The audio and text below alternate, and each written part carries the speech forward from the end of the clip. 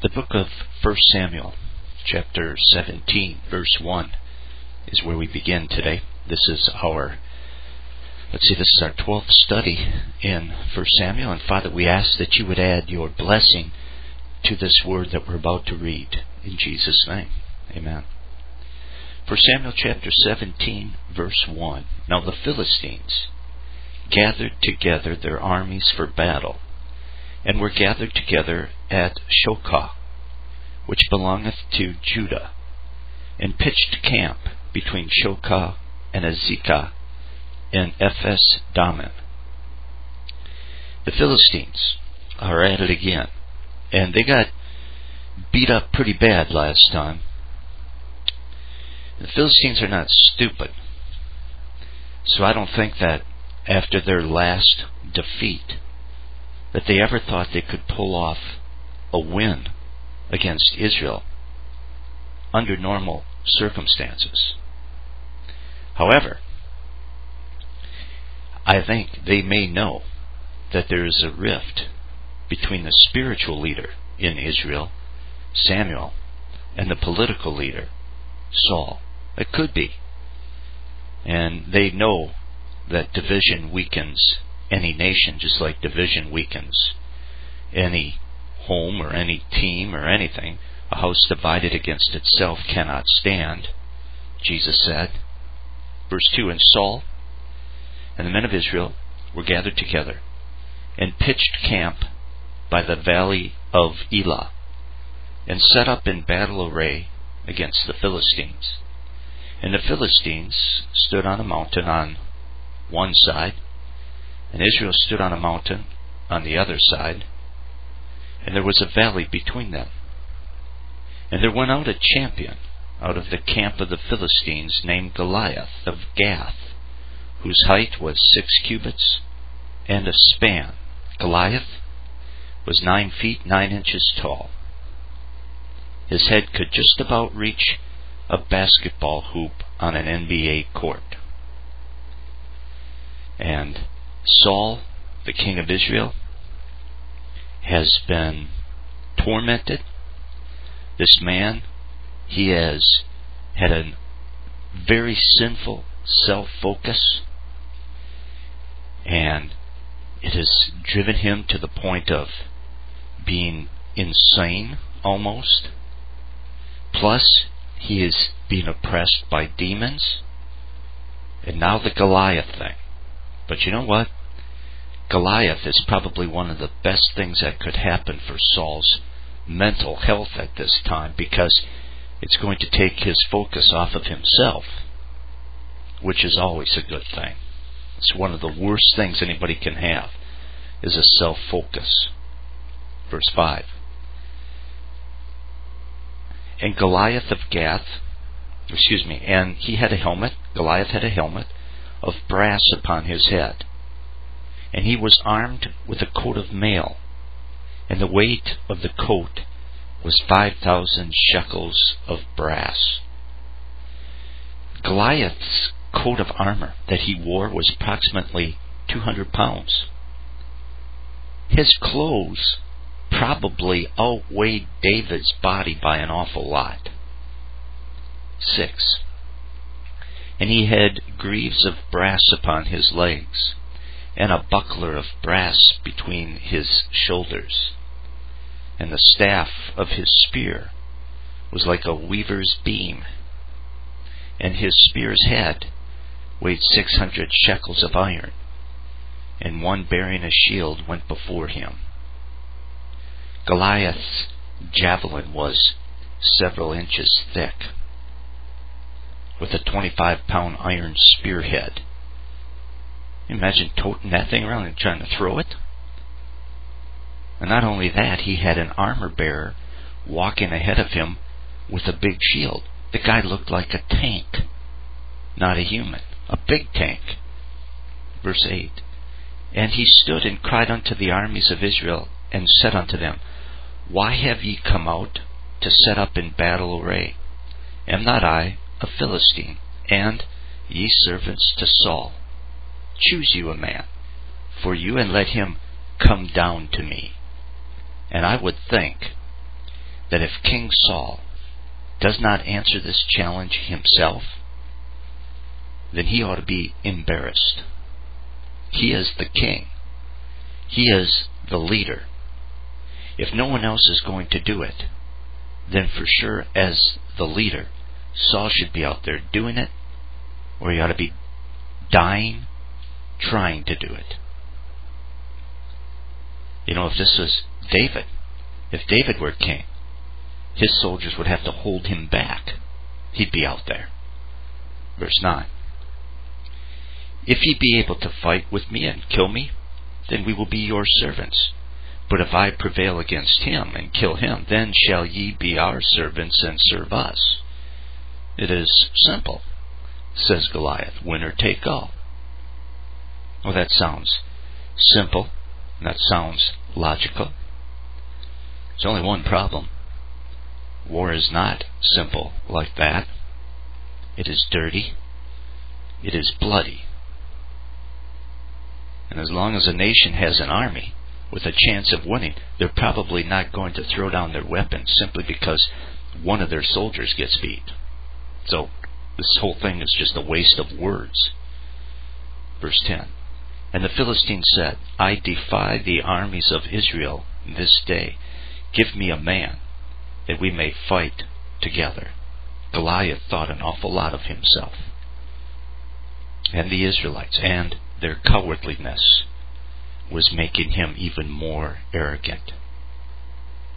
And so, with each day that passes, Goliath gets more bold, and the Israelites more fearful. Verse 11 When Saul and all Israel heard those words of the Philistine, they were dismayed and greatly afraid. You can tell the Holy Spirit left Saul because he has no boldness. He has turned into a coward. And the people are also afraid. And that makes sense because if a leader does not lead in righteousness, truth, and boldness in the Holy Spirit, chances are the followers won't be any better. 12. Now David was the son of that Ephrathite of Bethlehem, Judah, whose name was Jesse and who had eight sons. And Jesse went among men as an old man in the days of Saul. And the three eldest sons of Jesse went and followed Saul to the battle. And the names of his three sons who went to the battle were Eliab, the firstborn, and next unto him Abinadab, and the third Shammah. And David was the youngest, and the three eldest followed Saul. But David went and returned from Saul to feed his father's sheep at Bethlehem. David had played his music for the king.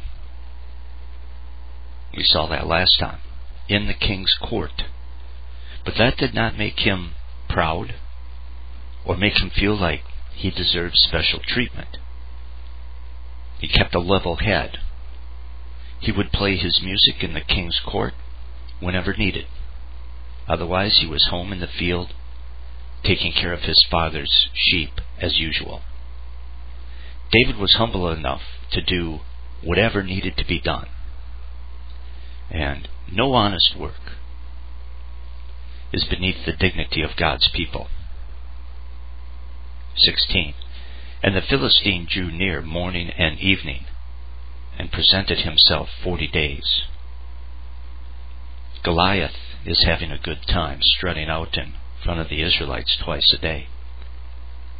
He is really playing the big shot in front of his fellow Philistines and in front of the Israelites.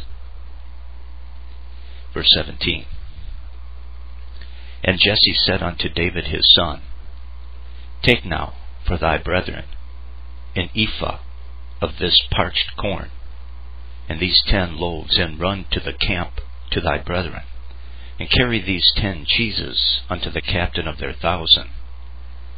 And look how thy brethren fare, and take their pledge. David had played music for the king. He has been anointed as the future king himself. We saw that last time.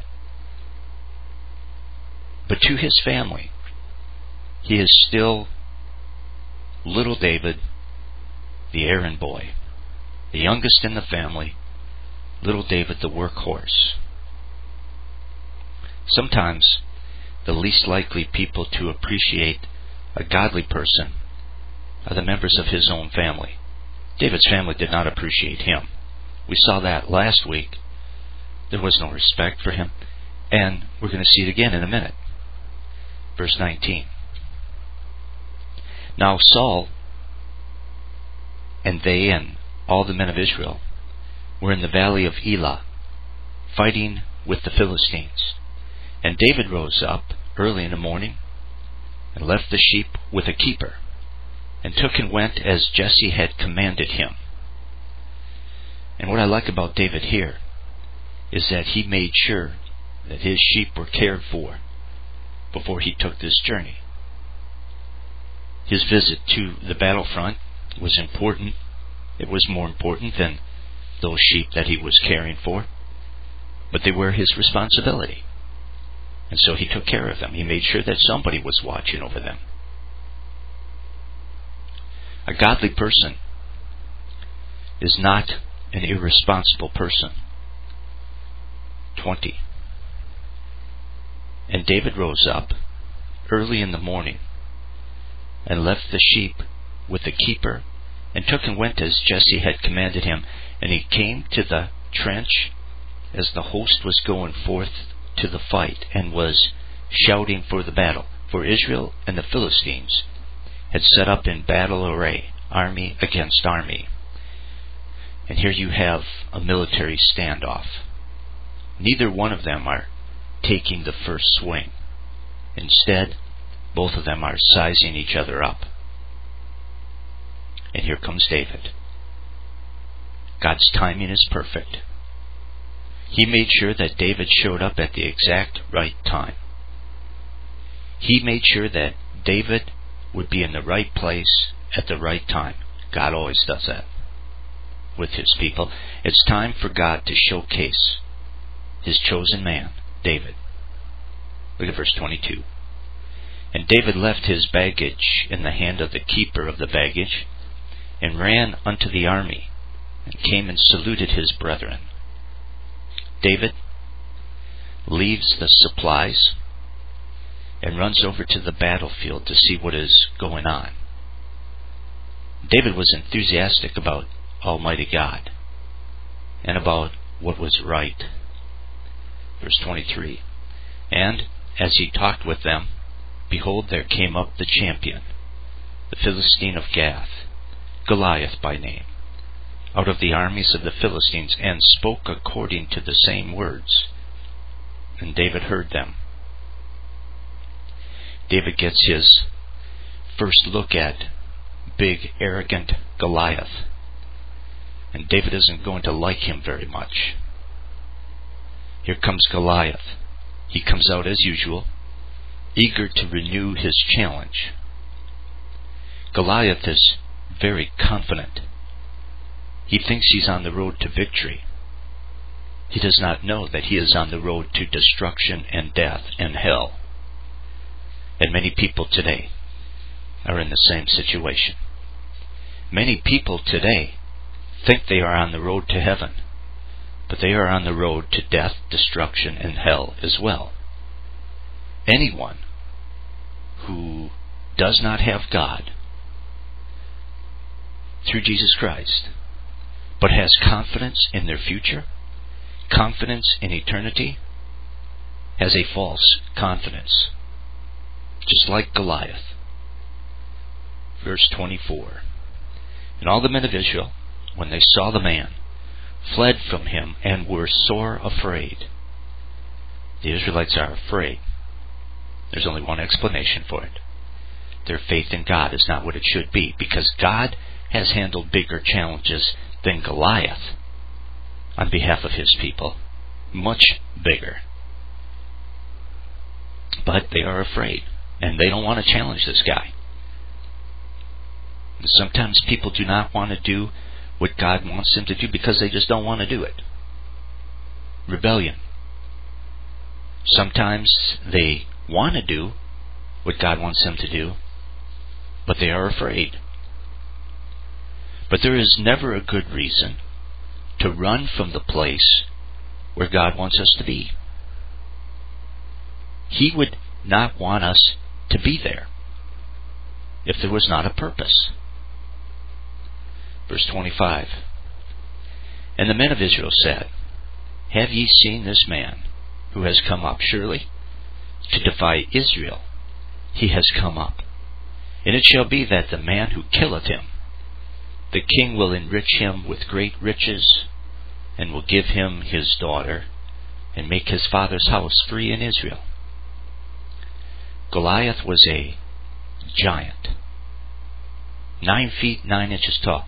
Don't know how big Saul was, but remember he was at least a head taller than any other Israelite. Israel wanted a king, they said, who would go in and out and fight their battles for them. This is Saul's big chance. But the Holy Spirit left Saul, so he didn't have the courage to do what he should have been doing. Instead, he tries to buy the services of others. But there are certain things that God wants us to do. And we cannot sell our personal responsibility as Christians to someone else. Christianity is not a spectator sport. We all have a part to play. 26. And David spoke to the men who stood by him, saying, What shall be done to the man who killeth this Philistine, and taketh away the reproach from Israel? For who is this uncircumcised Philistine, that he should defy the armies of the living God? And the people answered him in this manner, saying, So shall it be done to the man who killeth him. And so while others seem to be more interested in the reward for killing Goliath, David was outraged over the fact that a pagan could dare Israel and get away with it. David resented the fact that God's people and even God himself were being insulted by this heathen. Some things are beneath the dignity of God's people. And some some things are beneath the dignity of a child of God and they ought to outrage God's people. 28. And Eliab, his eldest brother, heard when he spoke unto the men. And Eliab's anger was kindled against David. And he said, Why camest thou down hither? And with whom hast thou left those few sheep in the wilderness? I know thy pride, and the wilfulness of thine heart, that for thou hast come down, that thou mightest see the battle. You know, Eliab gets all ticked off at David, because David says, Why is this Goliath fellow being allowed to get away with this? And his brother, David's older brother, gets all ticked off. That's because Eliab did not have the guts to fight Goliath himself, which I suppose made him ashamed. And now he's really embarrassed because little brother David is talking tough. And he will fight Goliath, and he exposes his own cowardliness by his bravery. So Eliab, Eliab gets angry. He would evidently rather see Goliath mock Israel and mock God than have David go out there and defeat Goliath. That's a classic self focused person. A self focused person would rather see God dishonored than have someone else get credit for putting a stop to it. 29. And David said, What have I now done? Is there not a cause? Only the youngest child in a large family could really understand, I think, what David was feeling here. What have I done now? Is what have I what, what have I done to deserve to be yelled at this time? There, there, isn't there a, isn't there a cause here? Am I not right? And he was right. David had right on his side, and he had truth on his side, and that's why he stood firm. Is there not a cause? You don't have to back off when you know that you have truth on your side, when it's backed by Scripture. 30. And he turned from him toward another, and spoke in the same manner. And the people answered him again in the former manner. And so David is receiving opposition from those who should not be opposing him. And we should not be surprised if we are opposing evil and find ourselves opposed by the ones that we thought would stand behind us, to do what is right, we must be ready to persevere through the threats of the enemy and even through the indifference of friends sometimes who should be standing behind us. Verse 31 And when the words were heard which David spoke, they recounted them before Saul, and he sent for him. And so Saul, remember, he offered a reward for bait for anybody who would go after Goliath and kill him, and he thinks he might have a bite. Consequently, he sends for David.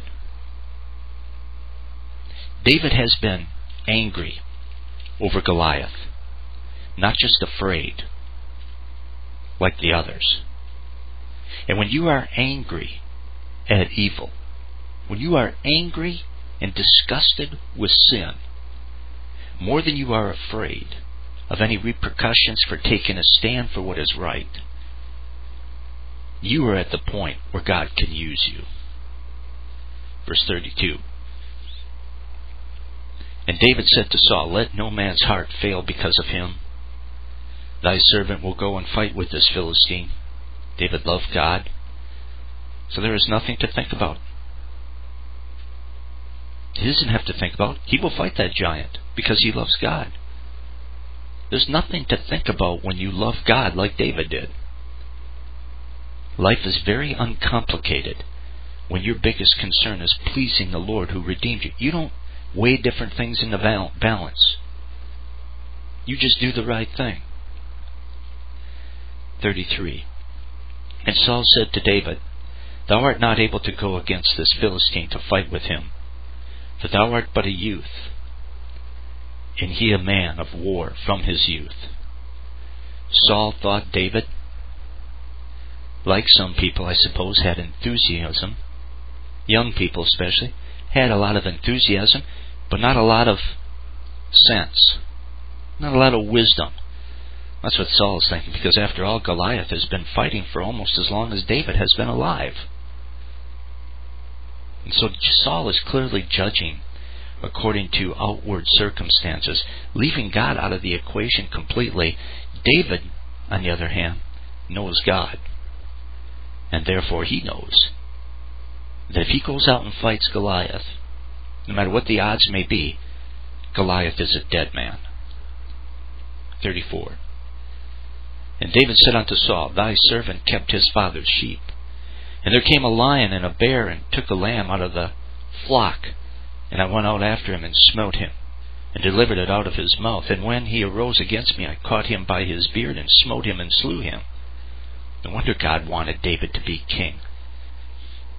He put his life on the line to rescue an innocent lamb from wild beast, and he will take care of God's people too. Not use God's people like Saul did. The lives of God's people will be important to him, and the blood of God's people will be priceless to him.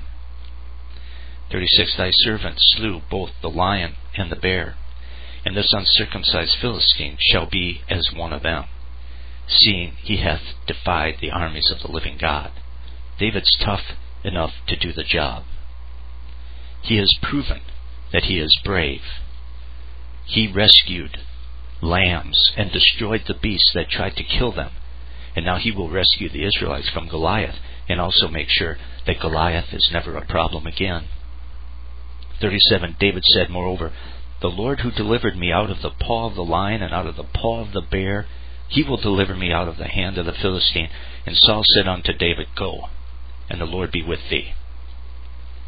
If God gave David the strength to defend his sheep, then he will sure give him all that he needs to defend God's honor and God's people.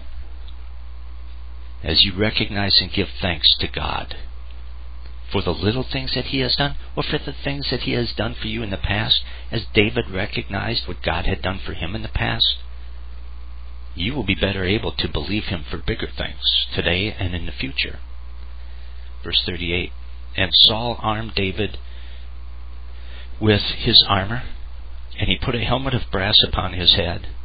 Also he armed him with a coat of mail I suppose that this was nice of Saul. I mean, he was doing what he thought was best for David, giving him his armor. Saul was sincere in the help that he was attempting to give David, but he was sincerely wrong, that's for sure. Notice verse 39. And David girded his sword upon his armor, and he attempted to go, for he had not tested it. And David said unto Saul, I cannot go with these, for I have not tested them. And David put them off him. Saul's armor fits Saul. It fits Saul just perfect. But it doesn't fit David. Which just goes to show that what is right for one Christian, what works for one Christian, does not necessarily work for another. And we cannot, we should not even try to force a child of God into our own little mold. Let the Holy Spirit use other Christians in a way that is tailor made for them. 40. And he took his staff in his hand, and chose for himself five smooth stones out of the brook, and put them in a shepherd's bag, which he had even in a pouch, and his sling was in his hand, and he drew near to the Philistine. David was going with what he knew.